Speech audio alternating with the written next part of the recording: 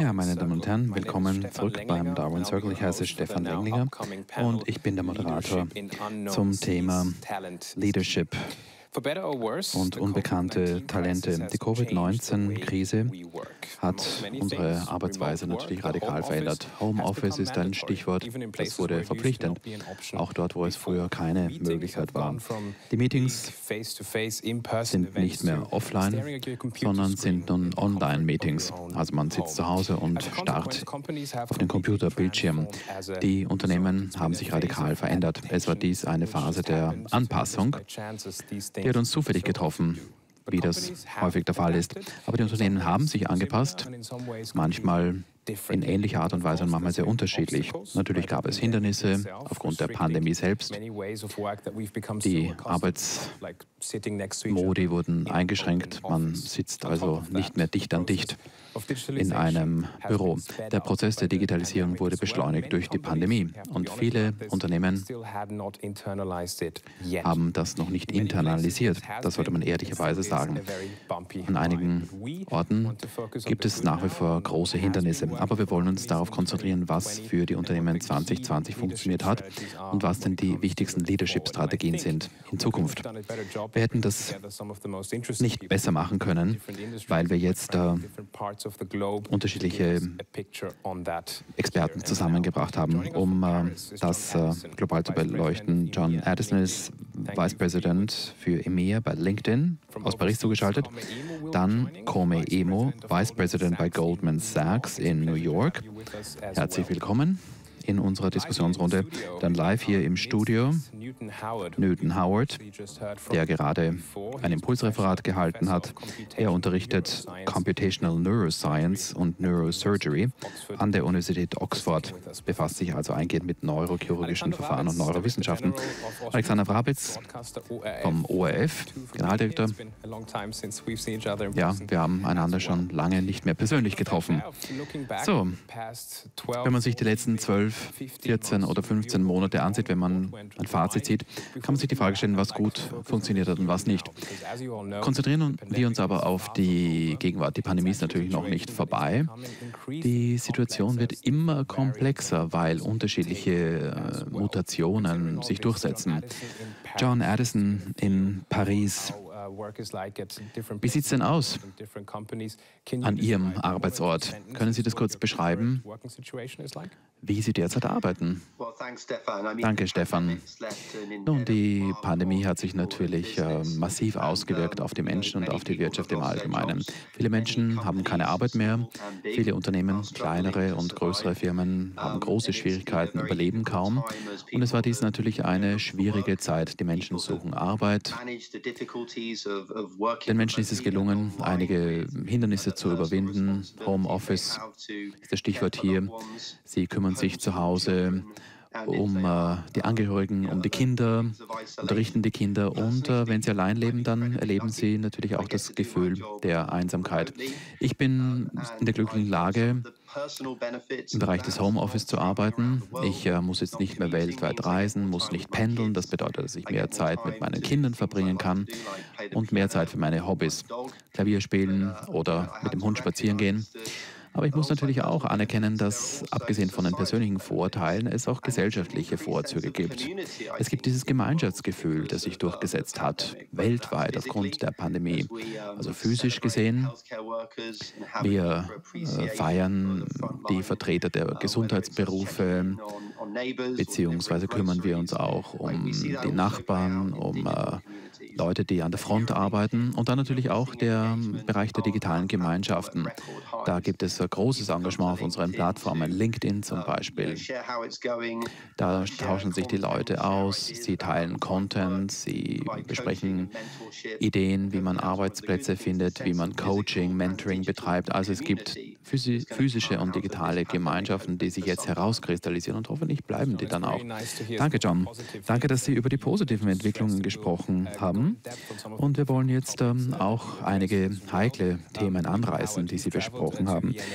Newton Howard, Sie reist nach Wien, um heute bei uns zu sein. Können Sie uns eine Vorstellung davon geben, wie Sie denn dieser Tage arbeiten? Wie jeder andere uh, wurde auch ich beeinflusst und beeinträchtigt. Wir mussten auf das Virtuelle zurückgreifen. Meine Arbeit im Labor wurde dadurch natürlich beeinflusst. Uh, Wir schauen uns die BCI-Arbeit an. Das war ja physische Arbeit. Wir arbeiteten da mit Tieren zusammen und dann erheben wir auch Daten, wie sich Covid-19 auf das Gehirn auswirkt. Auch da war die physische Präsenz notwendig an den medizinischen Fakultäten. All das wurde natürlich verlangsamt und zwar durch den Verlauf der Pandemie. Aber wir sollten hier trotzdem innovative Möglichkeiten entwickeln, sollten nicht die Hände in den Schoß legen und sollten versuchen, hier Lösungsmöglichkeiten zu finden. Aber wie wirkt sich denn jetzt eigentlich Covid-19 auf das Gehirn aus? Das wurde noch nicht wirklich erforscht.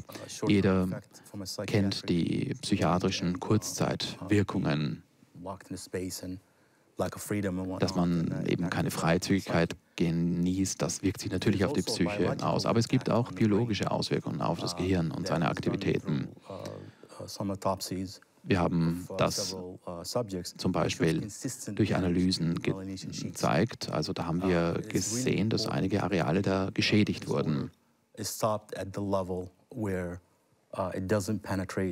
Aber man muss natürlich äh, dazu beitragen, dass es nicht die Hirnschranke überwindet und das Gehirn dann äh, permanent schädigt. Gut, Sie haben über Ihr persönliches Arbeitsumfeld gesprochen. Äh, auch Sie betreiben natürlich Social Distancing. Sie halten also Abstand zu anderen. Ja, natürlich. Und äh, das beeinflusst natürlich auch äh, unsere Atemweise, also weil alle äh, Mund-Nasenschutz tragen und so weiter. Aber dadurch wird die Infektion eingedämmt. Also wir müssen diese Bemühungen beschleunigen, natürlich intensivieren. Impfstoffe müssen entwickelt werden. Auch nach der Infektionsbehandlung müssen Tests durchgeführt werden in Zusammenarbeit mit vielen, vielen Menschen. Wir brauchen eine Lösung, die man rasch ausrollen kann. Und das ist natürlich auch ähm, eine Frage für große Unternehmen. Und da möchte ich Comeeno ansprechen in New York. Comeemo. Wie haben sich denn die Unternehmen angepasst? New York war ja einer der Hotspots der Covid-Krise im Frühjahr vergangenen Jahres. Wie hat sich Ihr Unternehmen angepasst? Ja, danke, Stefan. Es war natürlich recht hart, das stimmt. Aber ein Prinzip bei Goldman Sachs ist, unsere Ressource, unsere wichtigste Ressource sind die Menschen, das Humankapital. Und wenn das beeinträchtigt wird, dann ist das ein unwiederbringlicher Verlust. Also für uns stehen die Menschen an erster Stelle.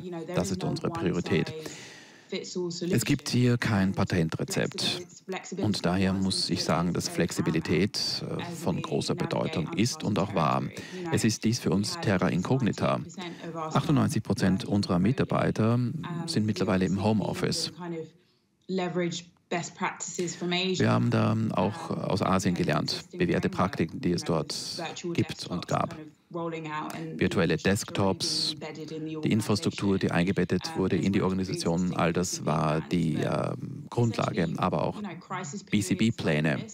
Aber Krisenzeiten sind natürlich schmerzhafte Perioden. Gleichzeitig zeigen sie, wie wichtig es ist, viele Risikofaktoren zu berücksichtigen, während langfristige Chancen weiterentwickelt werden.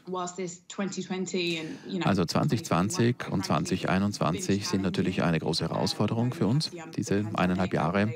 Es gibt die Pandemie, dann gibt es äh, rassenbezogene Diskriminierung, Ungleichgewichte. Es gibt Menschen, die äh, sterben. Menschen, die viel leiden, Menschen, die zu Hause arbeiten müssen und ihre Kinder unterrichten müssen gleichzeitig. Also da gibt es riesige Herausforderungen.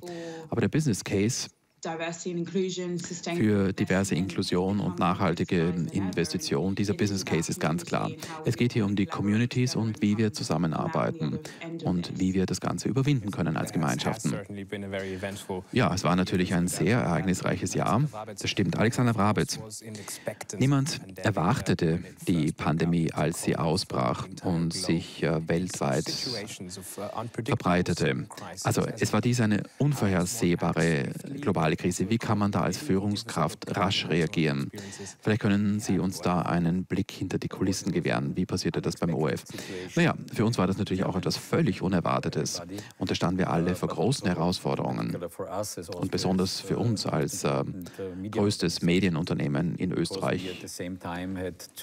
Da mussten wir natürlich auch dafür sorgen, dass unsere Mitarbeiterinnen und Mitarbeiter sicher arbeiten können.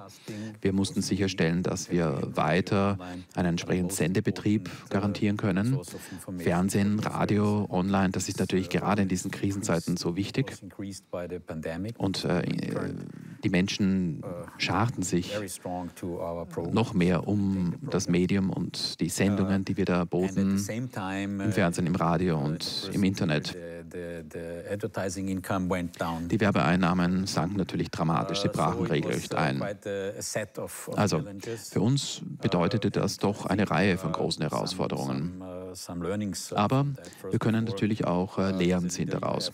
Als Führungskraft muss man da natürlich ähm, ein Vorbild sein. Man muss am Ende des Tages nach Diskussionen Entscheidungen treffen.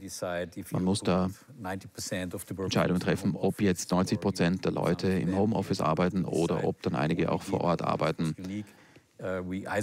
Wir haben da die 200 wichtigsten Mitarbeiter im ORF sozusagen isoliert.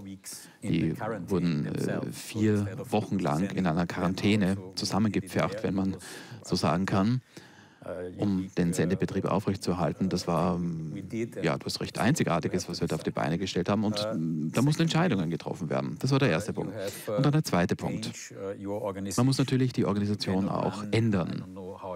Ich weiß nicht, wie Ihre Organisationen funktionieren, aber wenn es eine große Organisation ist, ein großes Gebilde, und man da unterschiedliche Arbeitsgruppen und Ausschüsse hat, dann wird das in diesen Akutsituationen, in diesen akuten Krisensituationen nicht funktionieren. Wir haben eine Projektorganisation aus dem Boden gestampft uh, uh, mussten also ganz anders jetzt plötzlich in diesen uh, Notfallszeiten Entscheidungen treffen, um für Sicherheit zu sorgen.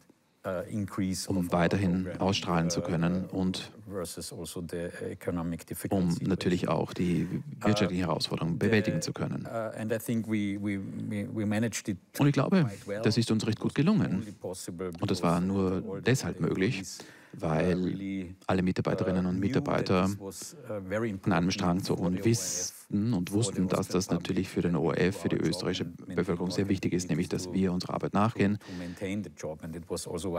und auch in Krisenzeiten dafür sorgen, dass das passiert.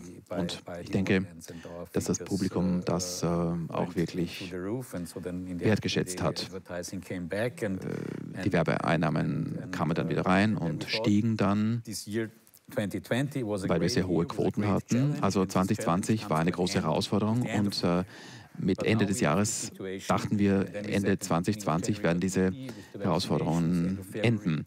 Und dann haben wir gesagt, naja, im Februar, März mit den Impfungen wird das Ganze vorbei sein. Aber jetzt sind andere Probleme auf den Plan getreten, nämlich wie man denn diese Motivation, diese Entscheidungsprozesse aufrechterhalten kann. Jetzt, wo das Ziel sich immer weiterentwickelt und verändert. Der Gesundheitsminister hat schon dreimal gesagt, ja, also die nächsten zwei Wochen sind entscheidend. Das hat er im November gesagt, das hat er im Dezember gesagt und auch im Jänner. Also das bewegt sich immer weiter in Zukunft, die nächsten zwei Wochen und so weiter. Naja, Hoffentlich wird die nächste Phase nicht uh, zu lange andauern, aber zumindest wird doch eine gewisse Zeit verstreichen. Uh, Und da wird es dann notwendig sein, sich anzupassen an diese Situation. Uh, es wird dann wirklich darum gehen, äh, dass man die Menschen weiterhin motiviert. Sie haben da viele Herausforderungen erwähnt, das Homeoffice, das Arbeiten von zu Hause aus.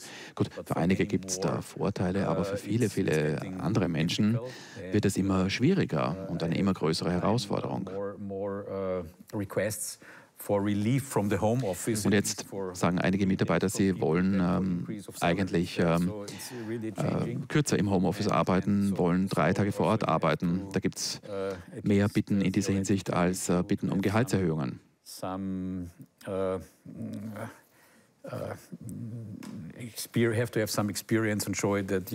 Also da muss man dann auch äh, Psychologe sein äh, und muss die Mitarbeiter entsprechend betreuen und unterstützen. Uh, to the leaders and the, the, the, the heads of the companies muss dann auch mit den anderen Abteilungsleitern zusammenarbeiten und muss ihnen sagen, dass ähm, sozusagen die Führungskräfte da sind, um die Menschen zu motivieren. Man muss mit ihnen kommunizieren im Homeoffice. Uh, Jeder Abteilungsleiter sollte zumindest einmal pro Woche oder einmal alle zwei Wochen mit den Leuten sprechen, die im Homeoffice sind, weil einige Homeoffice-Mitarbeiter, die fühlen sich alleingelassen, im Stich gelassen. Also sie machen ihre Arbeit von zu Hause aus. Äh, schreiben da verschiedene Dinge, aber sie brauchen natürlich auch Feedback. Also das sind ähm, die neuen Herausforderungen und beim nächsten Darwin Circle werden wir dann vielleicht ähm, über die Bewältigungsstrategien berichten können. Naja, die meisten von uns sind doch weiterhin motiviert, wenn wir zur Arbeit kommen, möchte ich sagen. John Addison in Paris. Bei LinkedIn haben Sie natürlich mit ganz vielen Führungskräften zu tun. Also das ist ja Teil Ihres Jobs.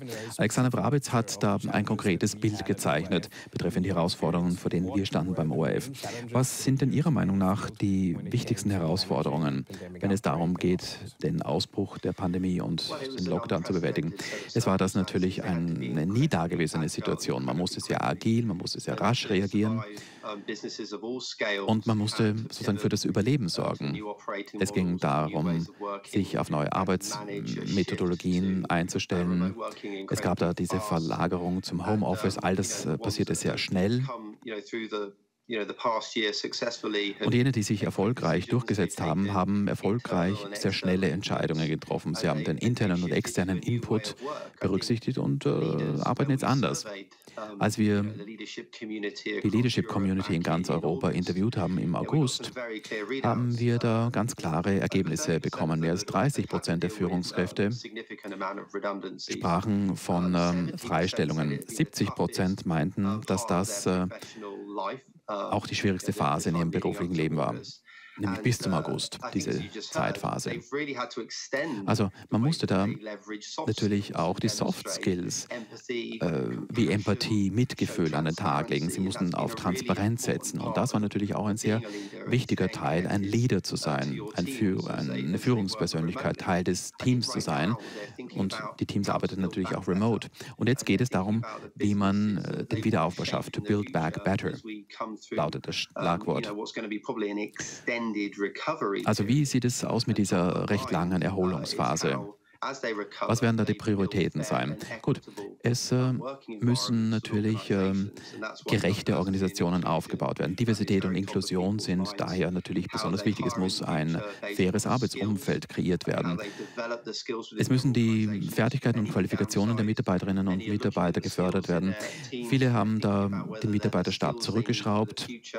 Aber es mm, ist natürlich notwendig, ähm, neue Qualifikationen zu erwerben. Das Wohlergehen der Mitarbeiter ist sehr wichtig, gerade jetzt in diesen Krisenzeiten. Flexibilität am Arbeitsplatz ist ein Schlagwort. Konnektivität und dann noch die Beziehung zwischen dem Standort, zwischen dem Arbeiten vor Ort und dem Homeoffice. Das sind also die Tendenzen. Ja, da möchte ich mich auf das konzentrieren, was Sie gerade gesagt haben. Sie haben über die Soft Skills gesprochen und auch Diversität und Inklusion. Aber vielleicht äh, das Wohlergehen der Mitarbeiterinnen und Mitarbeiter. Professor Newton Howard, was meinen denn Sie dazu? Sie meinten im Impulsreferat, dass Covid-19 unser Gehirn auch beeinträchtigt. Dieses Virus führte auch zu zahlreichen Todesfällen und viele Menschen haben dann auch äh, schwere Stresssituationen erlebt infolge des Virus, weil sie ihre Arbeitsmethodologie verändern mussten oder weil sie auch ihre Arbeit verloren haben. Was passiert da im Gehirn, wenn wir diesem Stress ausgesetzt sind? Nachhaltiger Stress führt im Gehirn zu Schädigungen des präfrontalen Lappens. Und das kann natürlich die Funktionen, also die Planungsfunktion, die Ausführungsfunktionen beeinträchtigen. Die Motivation wird dadurch beeinträchtigt. Das Commitment, die äh, Bereitschaft zu arbeiten. Man kann das aber umkehren, indem hier zum Beispiel bestimmte mentale Übungen durchgeführt werden. Und da gibt es äh, je nach Schweregrad auch Medikamente. Welche Schäden treten da physiologisch ein? Also wenn das Virus die Hirnschranke überwindet und wenn das Virus dann vordringt in Areale, in denen diese Schäden beträchtlicher werden können. Nun, das ist äh, schwieriger wiederherzustellen. Das Virus betrifft ja dann auch die olfaktorischen Nerven, betrifft also unser Geruchsvermögen und äh, das ist dann etwas, was das äh, Gehirn natürlich beeinflusst entsprechend. Das Virus setzt sich dann dort durch und äh, der Geruchssinn geht verloren das ist etwas, was ähm, wiederherstellbar ist, aber es ist natürlich komplexer. Also, was ist denn die Beschaffenheit dieses Virus? Es ist ja keine Infektion der Atemwege eigentlich, sondern es handelt sich hier um ein resilientes Virus. Ein Virus, das sich anpasst, um überleben zu können. Also da wird zum Beispiel auch die Sauerstoffanreicherung beeinflusst oder die Sauerstoffversorgung. Da gibt es Lungenschäden, weil eben die Organe belastet sind. Und daraus ergeben sich diese Lungenprobleme, weil eben die Sauerstoffanreicherung zu hoch ist. Also es geht da nicht nur um die oberen Atemwege, sondern um viele andere Bereiche, wo sich das Virus festsetzen kann. Gut, da ähm, wurden auch natürlich seitens der Forscher auch Fehler gemacht. Die Öffentlichkeit weiß natürlich, worum es jetzt mittlerweile beim Virus geht und äh, kennt sich da besser aus als früher. Wir brauchen hier ein Virometer, das heißt, wir müssen alle Viren identifizieren. Covid wird es über einen gewissen Zeitraum geben, aber es gibt natürlich Viren im Allgemeinen. Die Viren gibt es schon seit Millionen Jahren. Und wir müssen mit ihnen koexistieren. Da wird es dann auch in Zukunft andere Viren geben. Und wenn wir die Viren nicht detektieren können, also nicht nur die Covid-bezogene Virenlast, dann können wir oder müssen wir alles über den Haufen werfen. Also wir müssen uns da anpassen. Also da geht es um Messung der Temperaturwerte. Äh, beziehungsweise ist es dann zu spät, wenn man erkennt, dass ähm, äh, hier eine Viruslast vorliegt, eine Infektion. Da müssen wir früher den Hebel ansetzen. Gut, also es geht um das Virus, die Krankheit an sich, aber es geht auch um die Einschränkungen, denen wir unterliegen in unserem täglichen Arbeitsumfeld. Ja, Come Emo. Da gab es einen interessanten Artikel in der Financial Post diese Woche. Da ging es um psychische Erkrankungen im Bankenwesen. Im Bankenwesen müssen die Menschen natürlich tough sein, da herrscht gnadenloser Wettbewerb. Und es wurde dann in dem Artikel gesagt, dass viele Leute da psychisch leiden. Sie sind ja Führungskraft. Und äh, wie gehen Sie da um mit äh, Zoom-Müdigkeit oder Ermüdung oder Burnout und Depression bei Goldman Sachs? Naja, Stefan, die globale Pandemie hörte natürlich noch nicht auf. Und es ist ganz natürlich, dass man Angstzustände, Depression hat, Stresszustände und so weiter.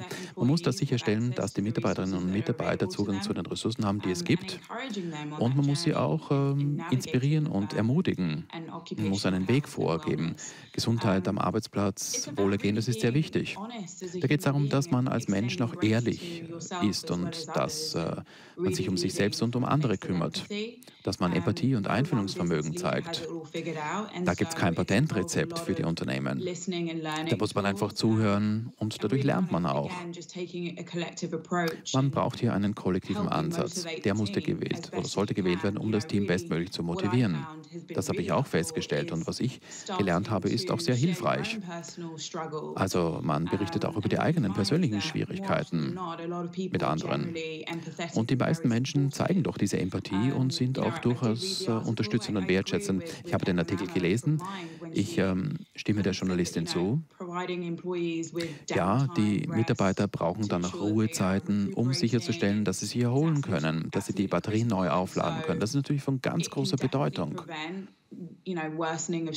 Und so kann man vermeiden, dass es in Zukunft äh, Stresszustände, psychische Erkrankungen und so weiter gibt. Also wenn man den Menschen betreff, äh, be, bestimmte Betreuungsmöglichkeiten gibt.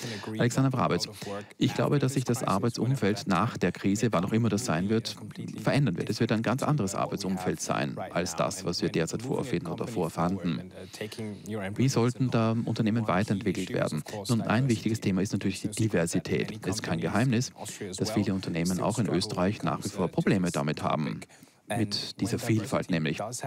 Und wenn dann die Diversität doch passiert, dann passiert sie am Rand. Was ist denn Ihre persönliche Strategie, um sicherzustellen, dass die Diversität sozusagen ein wirklich wichtiges Ziel wird und in den Mittelpunkt gerückt wird? Uh, uh, ja, das ist natürlich eine uh, Herausforderung, das ist eine Notwendigkeit, die sich immer mehr herauskristallisiert. Das alles hat sich natürlich auch dramatisch geändert. Das Medienumfeld, der Medienkonsum hat sich verändert, auch die internationalen Plattformen. Die haben natürlich sehr äh, profitiert, also Netflix, Amazon und so weiter.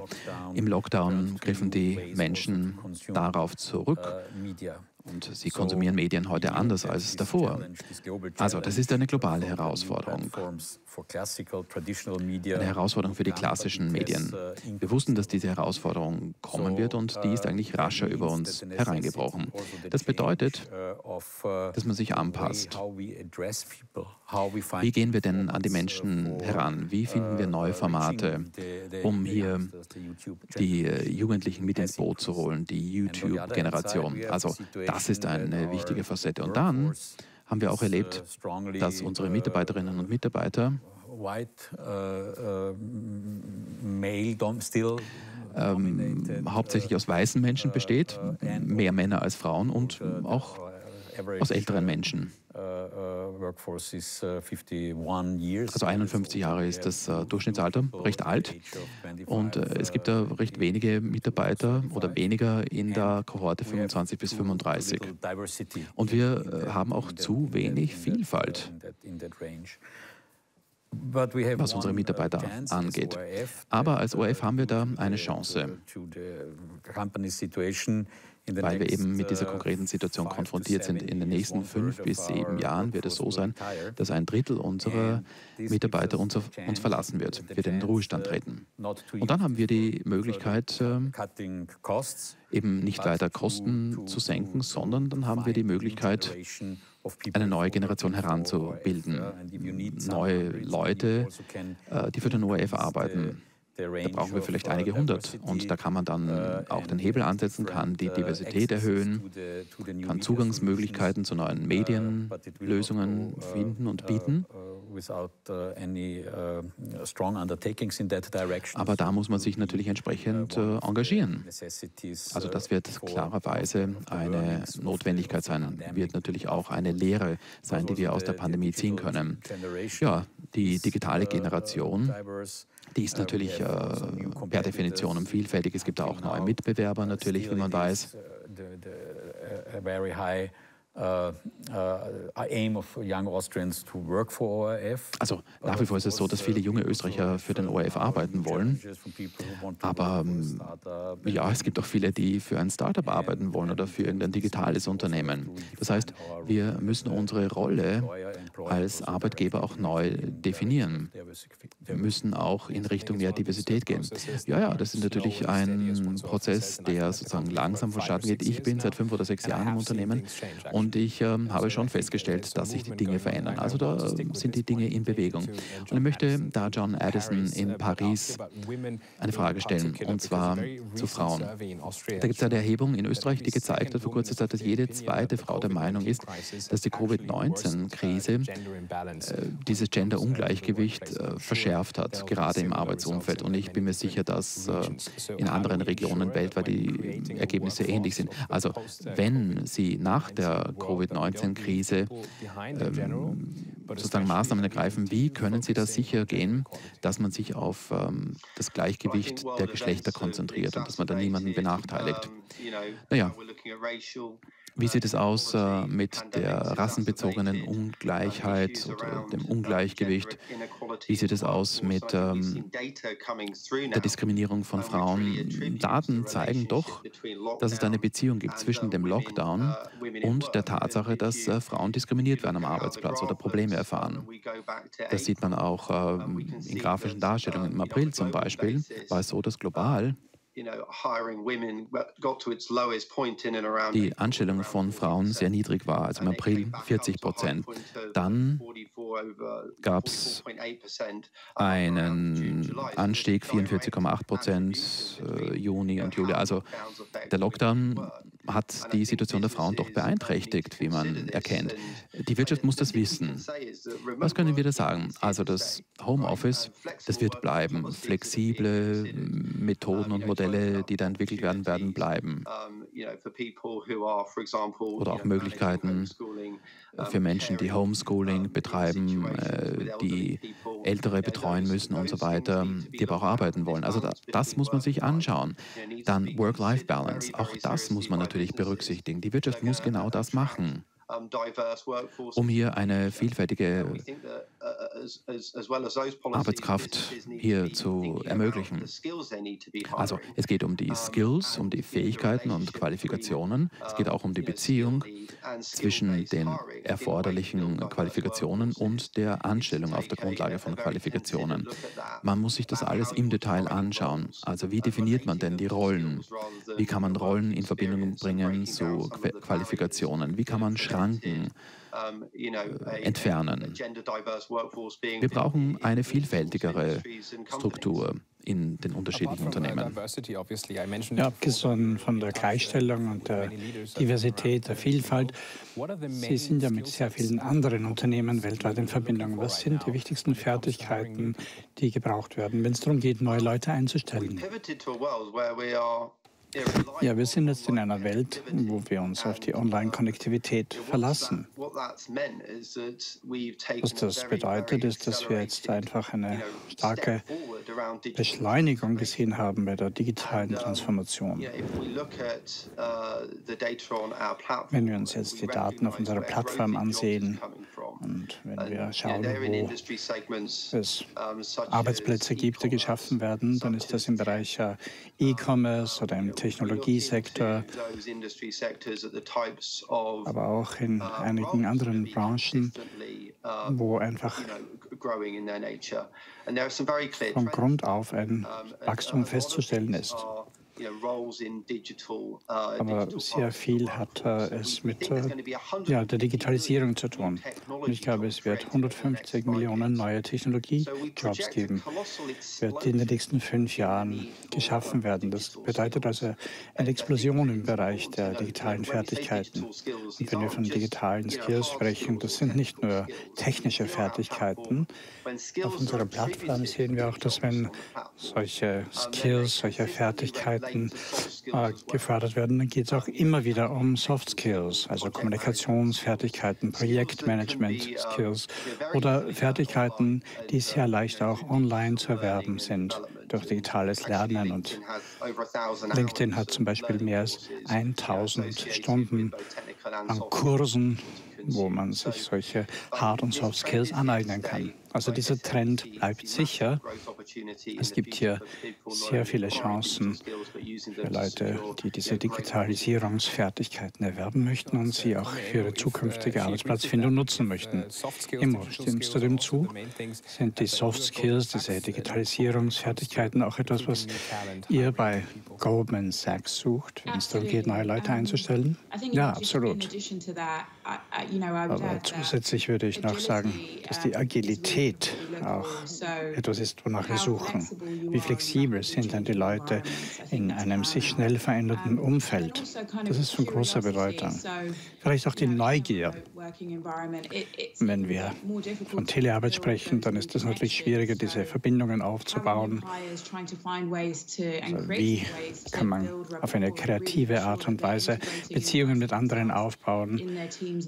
Wie kann man Teil der Organisation und eines Teams werden? Und da gibt es natürlich äh, sehr viele Annahmen, die den Status quo hinterfragen. Man versucht natürlich möglichst äh, immersiv präsent zu sein.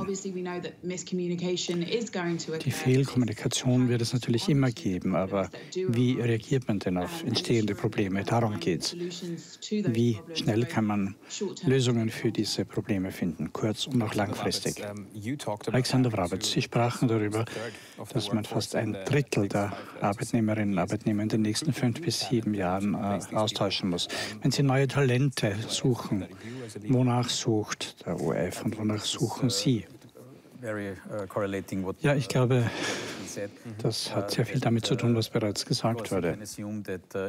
Man kann natürlich davon ausgehen, dass wir sehr gute Medienschulen in Österreich haben, auch sehr gute Mittelschulen und wir haben auch wirklich sehr gute talentierte Menschen und die Ausbildung bei uns ist wirklich allgegenwärtig. Aber was den Unterschied macht, ist, ob die Leute kreativ sind, neugierig sind, Neues lernen wollen, ob sie in der Lage sind, in Teams zu arbeiten, ob sie richtig kommunizieren können und ob sie auch Interesse zeigen in anderen Bereichen und nicht nur den Medien. Wo man zumindest annehmen kann oder davon ausgehen kann, dass sie besser in der Lage sein werden, auch langfristig mit volatilen, ungewissen und sich ständig verändernden Umgebungsbedingungen umgehen zu können. Und ich glaube, man braucht ein offenes Denken, einen offenen Lebensstil und damit kann man sich heute differenzieren. Mhm. Unfortunately, we are running out of time ja. and do have uh, to wrap this up in a minute. But Jetzt müssen wir gleich uh, zusammenfassen, aber ich würde gerne noch eine spezifische Frage stellen, und zwar, welche Lektionen haben wir denn gelernt im zweiten Jahr der Pandemie jetzt mittlerweile? Was ist äh, die Botschaft, die Sie mit nach Hause nehmen? Ja, ich glaube, es geht darum, dass wir erkennen, dass es ein Leben nach der Pandemie geben wird. Wir müssen einfach 20 äh, oder 50 Jahre in die Zukunft denken. Vor der Pandemie war es schwierig für die Menschen zu sehen, dass ein Chip im Gehirn implantiert werden kann und den Spracherwerb beschleunigen kann und vielleicht auch Parkinsons behandeln helfen kann. Und die Leute sollten natürlich auch bereit sein, diese hoffnungsvolle äh, Sicht der Zukunft aufrechtzuerhalten. We can't stop uh, life because wir können das Leben nicht einfach stoppen, nur weil ein Virus sich jetzt manifestiert und vielleicht etwas äh, dominanter ist, als es sein sollte. Wir müssen einfach Mittel und Wege finden, uns daran anzupassen und eine Vision haben, die sich 50, 100 oder 200 Jahre in die Zukunft erschreckt. Und ich glaube, das ist auch ja in der Geschichte der Menschheit immer so gewesen. Wir müssen uns immer an die Zukunft anpassen. Herr Addison, was haben Sie gelernt im letzten Jahr?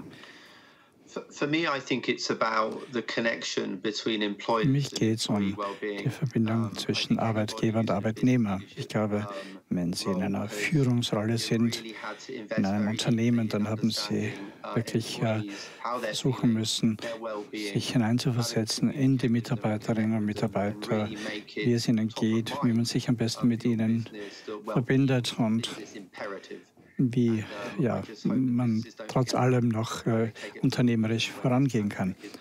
Und ich hoffe, wenn die Pandemie vorbei ist, äh, dass sich die Führungskräfte auch daran erinnern. Amy, was haben Sie denn aus der Pandemie gelernt? Ich glaube, es geht um die Empathie und emotionale Intelligenz. Das habe ich für mich gelernt transparent mit meinem Team kommunizieren, eine tiefere Verbindung zu ihnen aufbauen, zu entdecken, dass wir nicht allein sind und dass man wirksamer agieren kann als Führungskraft, wenn die Menschen die persönliche Geschichte von einem kennen. Und ich glaube, es geht auch darum, dass wir uns mehr kümmern um äh, ja, Gleichstellung und Kampf gegen Diskriminierung, Rassismus Und wir sollten Alliierte werden und nicht nur äh, nach außen hin, sondern echte Alliierte werden. Und ich glaube, es geht auch darum, dass ich meine eigene persönliche Gesundheit als Priorität gesehen habe in der Pandemie, damit ich dann auch in der Lage bin, den Rest meines Teams zu unterstützen. Also aus einer leeren Kanne kann man nichts mehr herauskriegen. Das heißt, man muss schauen, dass man sich selbst gesund hält, um anderen helfen zu können. Ich glaube, die wichtigste Lektion für mich ist, dass wir gezeigt haben, wie anpassungsfähig die Menschheit wirklich ist. Vor einem Jahr war Corona noch ein Bier und das Hauptprodukt von Pfizer war eine blaue Pille. Und jetzt weiß jeder auf der Welt, dass es eigentlich um ganz andere Produkte geht und jeder weiß jetzt auch, was der Coronavirus ist. Und ja, jetzt haben wir endlich eine Impfung und wir haben auch äh, die meisten äh, Elemente des Virus entdeckt. Es verändert sich natürlich immer noch, aber das ist etwas, was mich sehr stark beeindruckt hat. Und auch die Anpassungsfähigkeit unserer eigenen Organisation, die Bereitschaft unserer Mitarbeiterinnen und Mitarbeiter in einer Stresssituation sich zu verändern und sich an die neue Situation anzupassen, das Produkt weiterhin zu produzieren und weiterzuarbeiten. Das ist wirklich diese Vitalität Qualität und die spürt man in unserer gesamten Organisation, bei all unseren Mitarbeitern. Ja, ich habe jetzt keine Uhr, aber ich glaube, Sie haben am wenigsten hier gesagt oder gesprochen. Ich habe mich auch äh, darauf vorbereitet und ich interessiere mich natürlich für Ihre Antwort. Sobald wir wieder zur Normalität zurückkehren und die Leute wieder ausgehen, essen, trinken, ins Büro gehen, vielleicht auch sogar wieder Hände schütteln, auf neurologischer Ebene im Gehirn, was wird sich dann verändert haben? Auch auf Ebene der Gesellschaft. Ja, sehr viele Leute würden Anpassungsstörungen aufweisen. Es wird eine Zeit uh, dauern, bis man wieder zum früheren Leben zurückkehren kann. Mein Kollege hat soeben Pfizer und die kleine blaue Pille von Pfizer erwähnt. Ja, die uh, Impfung und die blaue Pille sind vielleicht während dieser Krise wichtig gewesen sein. Also man muss sich natürlich auf uh, unterschiedlichen Ebenen anpassen. Und dieser Stress muss natürlich auch wieder nachlassen und das äh, bedeutet, dass wir dann weiter wachsen können im Hinblick auf unser Verhalten und unsere Funktionalität, dass wir auch gegen diese Krankheit ankämpfen können. Und ich glaube, man kann gegen Covid ankämpfen ohne die Impfung und ohne Medikamente. Einfach nur mit der Stärke des Geistes. Aber ich glaube, dafür haben wir heute keine Zeit mehr. Ja, ich würde gern fragen, was Sie damit meinen. Vielleicht in einem Satz zusammengefasst. Können Sie uns sagen, was Sie meinen? Ja, das Immunsystem wird durch das Gehirn gesteuert, durch äh, willkürliche und unwillkürliche Systeme. Die Fähigkeit zu visualisieren, wie dieses Virus unseren Körper angreift, hilft dem Immunsystem dabei, dagegen anzukämpfen. Aber in ein paar Sekunden kann ich natürlich nicht darüber ausführlich sprechen. Das ist ein sehr komplexer Bereich, aber das wird seit Jahrtausenden von Mönchen und anderen praktiziert. Die waren in der Lage, schlimmere Dinge zu überwinden als Covid-19. Es gibt sehr viele Berichte, dass äh, Krebs und andere Dinge mit solchen Methoden behandelt werden. Und ja, ich habe das Gefühl, dass äh, sobald wir uns daran gewöhnen, mit der Pandemie zu leben, wird es sehr schwierig sein für uns, ohne die Pandemie zu leben. Ja, es kommt schon wieder eine, keine Angst. Ja, hoffentlich nicht zu schnell. Gut, vielen Dank. Das war es auch schon für uns. Das ist äh, eine dieser Konstellationen, wo man hofft, dass die Konversation noch sehr viel länger weitergehen wird. Aber ich glaube, wir haben in den letzten 45 Minuten sehr viele Dinge angesprochen und ich selbst freue mich sehr darauf, derartige Gespräche fortzusetzen, sobald diese anstrengende Phase endlich vorbei sein wird. Ich bedanke mich bei allen Teilnehmerinnen und Teilnehmern. Danke für Ihre Einblicke. Danke fürs Zusehen. Es war eine große Freude und jetzt übergebe ich wieder an Katrin Küss.